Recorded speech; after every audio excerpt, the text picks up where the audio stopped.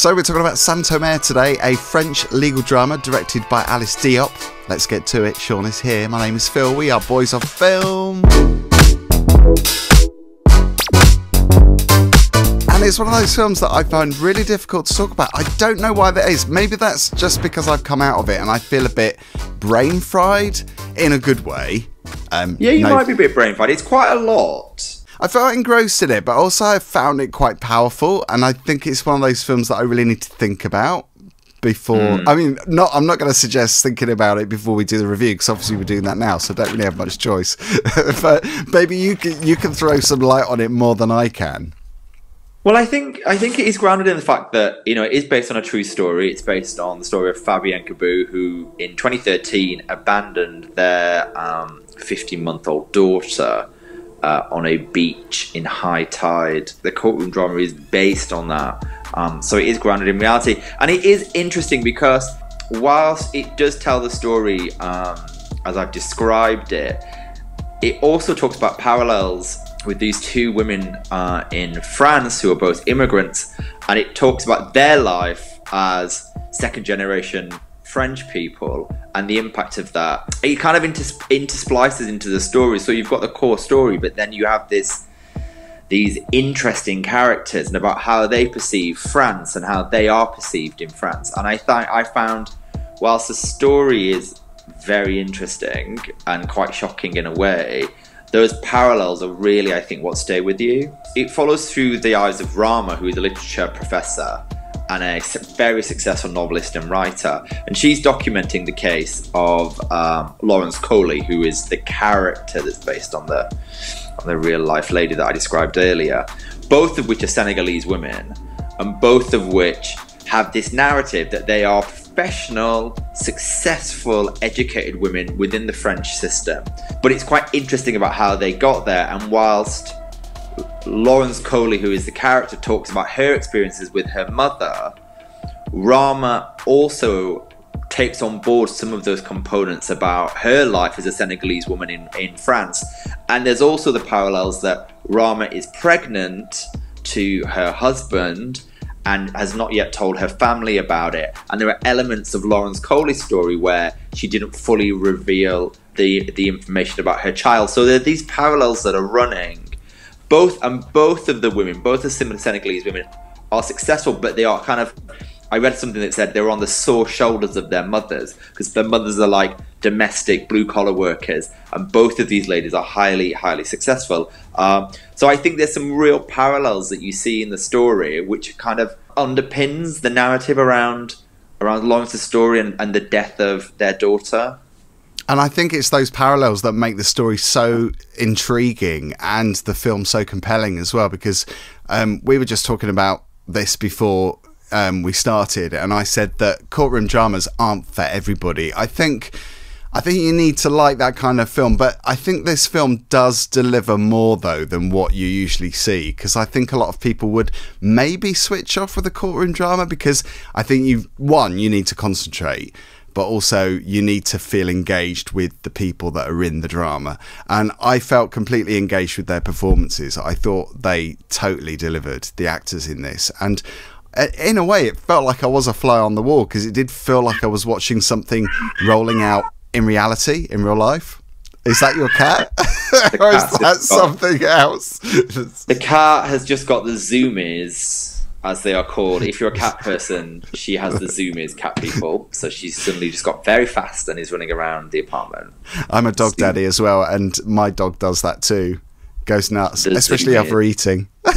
yeah, I think I think the other interesting thing is which I which people I think what comes through in the story is because Laurence is this highly erudite, articulate French woman, you know, and has a grasp of French, although French is a second language, and she's educated.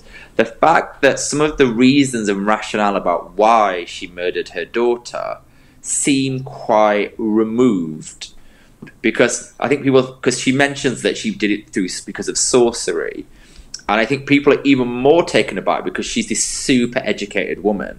So it's not saying that it wasn't sorcery or not, but the actual idea of it, I think, also is more shocking because she is, you know, this super, you know, she's intelligent, she's erudite, she's articulate, but she believes something else. And I think that also adds a flavor to this story, yeah, around how she's perceived and how this plays out. So it, it, it's you're right, it's a courtroom drama, and I was quite drawn to it because there is a lot of kind of very fixed scenes that almost feel theatrical in a way, but not stagey. I don't think quite it felt stagey, stagey, but not Yeah. not to extent. It actually created drama and tension in the right places. I think that's And down to it- a lot of the close-ups as well, because the clo- close-ups were really dramatic, but not in a in a kind of hammy way. I think they were dramatic, but there was a lot of pauses, and obviously that just proves how good these actors were as well, because you don't necessarily. I would imagine the filmmaker wasn't wanting to fill up those empty spaces because there's a lot of empty spaces, but I think they're there for a purpose, and I think it's what mm. makes the film more engaging because you feel like it's real, N- not like tightly edited, deliberately, just to No. just to get rid of the space. No, and I think, as I say, on paper, people might be like, I'm not sure whether I need to see a French courtroom drama about two Senegalese women. I would say do it because Yeah. actually, it's it kept me. It kept me entertained and it kept me fixed to the screen in a way that other films haven't. And so it drew me in, and I think there is the strength of the acting and the cinematography and the framing that um, I thought were pretty pretty outstanding, really. And also the story itself, it does make you question how you look at other people as well, especially if they're people that are sentenced for a crime. You kind of see not that you see the other the other side of the of that, but I think it, it, you know it's human nature, isn't it, to just judge people that for something that they've done wrong or they've been sent to prison for, and it's that kind of understanding of why they did what they did. It's that it's that curiosity, I think, which I think is what makes it compelling because you Yeah. kind of feel you feel like you understand both sides. Yeah, you're right, and it's not framed through a lens of judgment. So it's not framed around, oh, this happened, this woman must be evil or bad. Actually, I think it's played very well, and I think the lady that plays the judge, some of her summaries and so is are just really quite brilliant. So. Yeah. For me, I, I took quite a lot away from this film, even though on paper you probably go, Oh, I'm not really sure whether it's my vibe. I think it is quite compelling. Also, really haunting as well. I mentioned that earlier. I don't know whether that's down to, well, I think it probably is a mixture of things. I don't think it's just the music, but the music they used was really well suited, I thought. Because it kind of gave that really hypnotic feel. And I think, like I mentioned earlier, you know, right at the beginning, saying, I, I don't know how I can explain what I've just seen because I feel. I do feel not numb, but I feel like hypnotized. I, th- I think that's how I felt when I when the credits rolled. I just kind of came out in a bit in a bit of a numb state, which I think is is all to you know the credit of of the people that have done this because I think it's a powerful piece of cinema, definitely. Yeah, and I get that. I mean, there's many films like my my husband goes, "What do you think?" And I'm like, "I'll tell you in the morning."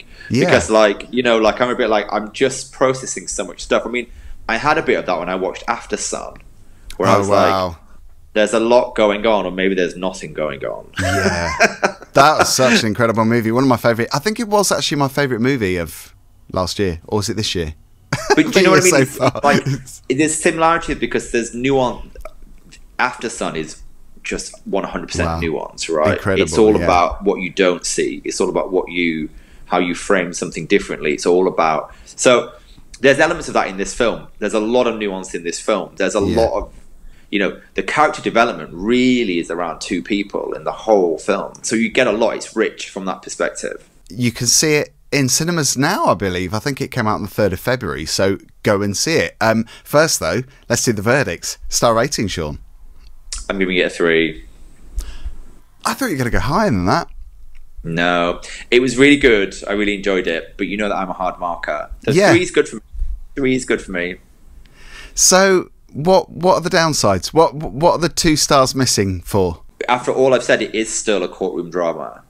So you know, I'm like, I really, really enjoyed it. I could have absolutely hated it because it is almost set in, you know, the way it's framed, the way it's staged. So I really enjoyed it, but I'm not sure.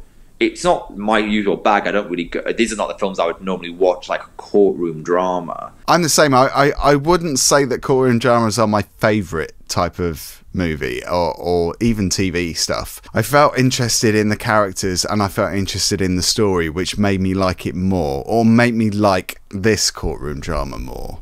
Um, but yeah, for me, it's a four stars just because I thought it was powerful and yeah, I thought it was a story well told. Let us know if you're going to see it. Leave a comment down below. Thank you, Sean, as always, and thank you everybody for watching. We'll see you on the next review.